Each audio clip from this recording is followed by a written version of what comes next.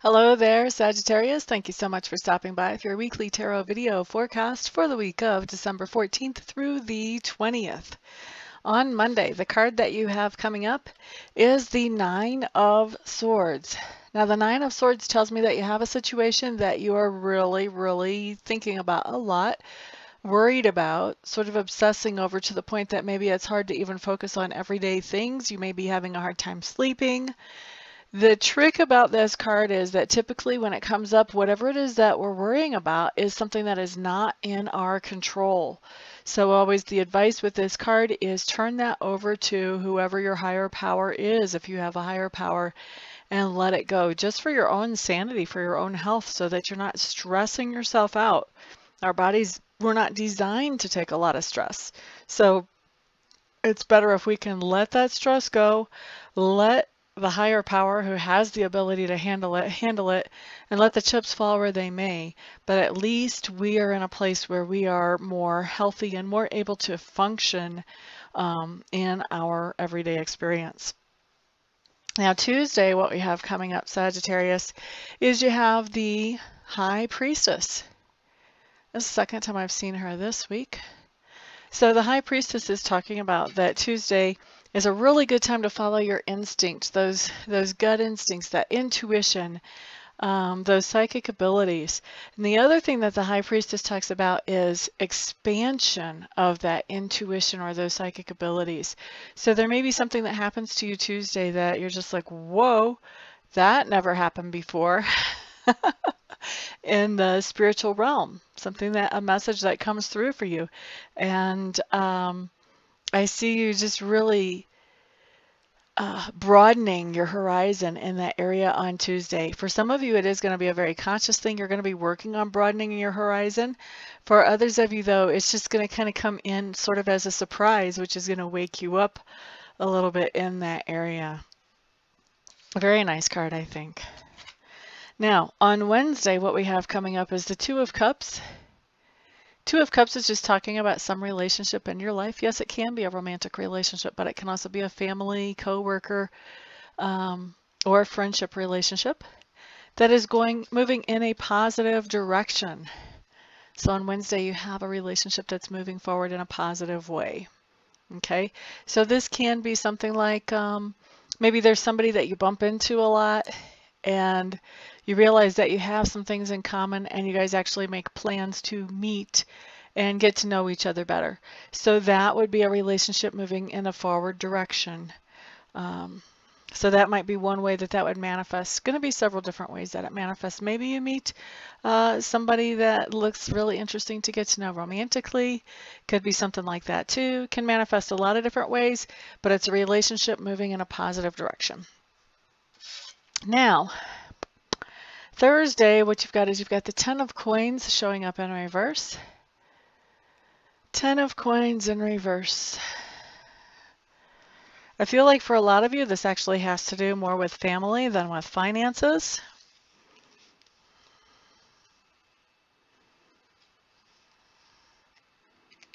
And it has to do with finding out something that makes you feel a little bit less secure about family. So this could be something like where maybe Thursday you find out that one of your siblings can't be home for Christmas.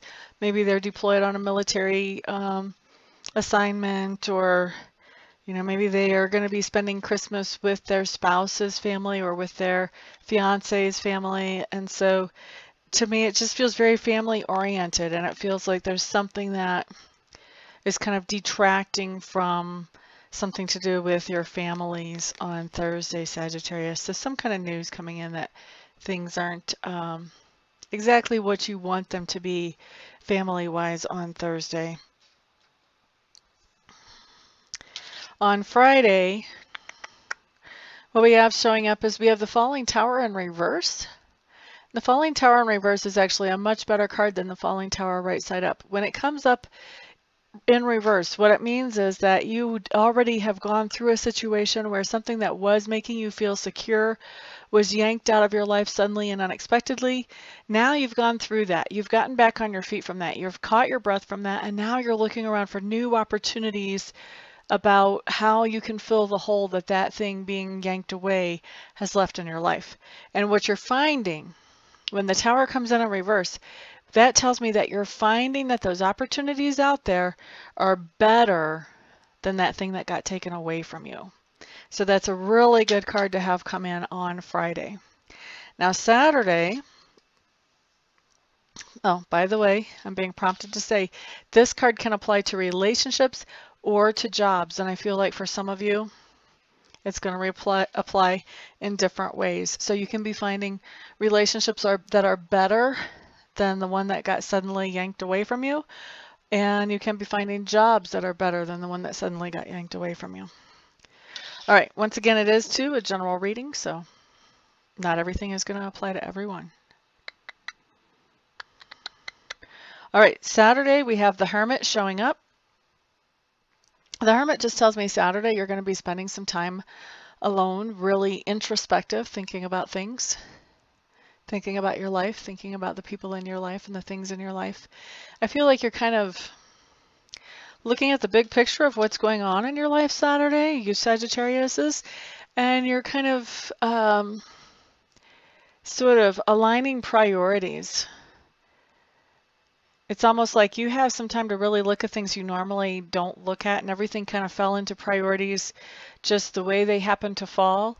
And now you're starting to look at, okay, well, is this really, is this thing that I'm spending the most time on really the most important thing in my life? Or maybe I should adjust that a little bit. And so it does, it really feels like, um, and this is not what would normally come up on a hermit card for me, but um, yeah, it just feels like priorities are being changed. I don't feel like there's been any particular thing that has led to, that has triggered you starting to realign your priorities. I feel like it's more of an internal time to just take an overview, a checkup of my life and, and figure out what I really want to be doing here. Now let's move on. Sunday, Queen of Swords showing up. This is somebody that you're interacting with. I feel like this is, uh, for most of you, a woman. This is somebody who has been carrying a heavy load for quite a while. Um, she's very, very intelligent, very quick-witted. Um, she has a very dry sense of humor. When she cracks a joke, she may not smile at all, so you're left kind of wondering, is she joking or is, is that seriously what she wants? um, And I feel like this load that she's been carrying for a while, whether it's a load of responsibilities or whether it's a load of grief or whatever it is, I feel like she is getting ready to put down that load whenever you guys have an interaction on Sunday. So this can be somebody, um, if this is a woman who is grieving, which many times the Queen of Swords is a widow or somebody who has lost a child, she can be getting to the point where she is ready to let that grief float away from her and start to um, reach out for things that make her happy again. Um, if this is somebody who has a lot of business responsibilities too, I feel like um, for some of you it's going to be manifesting more like that. I feel like she may be getting ready to say, you know what, um, I've done this for a very long time and I'm very good at it and I know exactly what I'm doing, but I'm ready to to do some other things. I want to, some of them are going to be saying, I want to branch out and I want to expand in different directions. Some people are going to be saying, I want to travel. Some of these women are going to be saying, I'm just tired and bored and restless of this. And so they're going to be talking about putting down either some of those responsibilities or all of those responsibilities, either to pick up other responsibilities that they want to um, have or to travel or to just take a break and see what life is like without having all of these responsibilities. So that's going to be an interesting conversation, especially depending how this person relates to you and how that will impact you. if this is your mother and you uh, run a business together and she's deciding that she wants to take off and travel the world, you could be heavily impacted. You could be doing a whole lot of work that you haven't done before. So, um, you know, there's a lot of different ways that this can actually influence your lives depending who you are and who you are in relation to this other person. So, going to be interesting to see how that plays out for you. Anyway, Sagittarius, thank you so much for stopping by, for hanging out, liking, subscribing, sharing, and commenting. I do appreciate all of your support. I hope you all have a fantastic week. I will see you back here next time. Peace out.